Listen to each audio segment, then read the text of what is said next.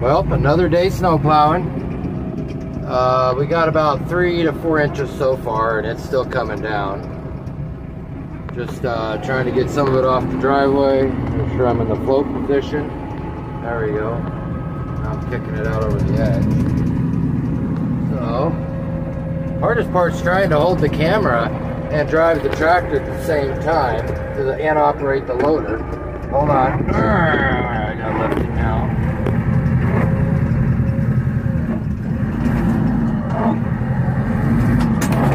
I guess that's as far as it wants to go right now, so.